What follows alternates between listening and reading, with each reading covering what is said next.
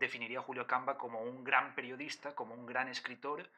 que se dedicó a la columna breve, al texto breve, y dentro del género articulista, Julio Camba destaca quizá como, como gran corresponsal en el extranjero. Por un lado, yo elegiría La Casa de Lúculo, que es el libro que él dedicó a la gastronomía, que era una de sus grandes pasiones. La Casa de Lúculo es el único libro que Julio Camba escribió como libro, siendo consciente de que eso se iba a publicar en forma de libro.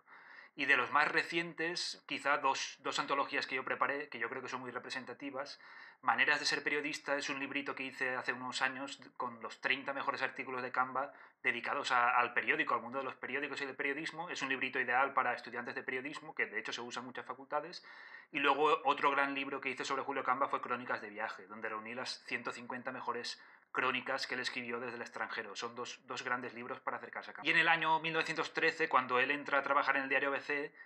ahí da un giro y sí que se hace un hombre mucho más moderado y su ideología se va moderando. Luego Julio Camba, digamos que cuando se proclama la Segunda República en España, eh, él tiene un, un, problema porque él confiaba en que la República le diese un cargo diplomático, la República no le dio un cargo, y él lo que hizo fue escribir contra la República, de manera que la gente asocia a Julio Camba con el franquismo, pero Camba nunca fue franquista y nunca defendió a Franco, lo que sí que fue fue antirrepublicano. Él criticó a los políticos de la Segunda República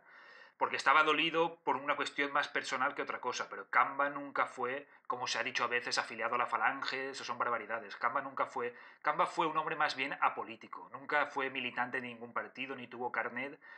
Sí que es verdad que como a muchos escritores de la generación del 98, de la generación del 14, con mucha gente que siendo jóvenes eran anarquistas y que poco a poco a lo largo de cuando medida que fueron madurando se hicieron más moderados en sus posturas y muchos de ellos acabaron siendo conservadores, pero eso no le pasa solo a Camba, eso le pasa por ejemplo a Zorín, que fue otro gran periodista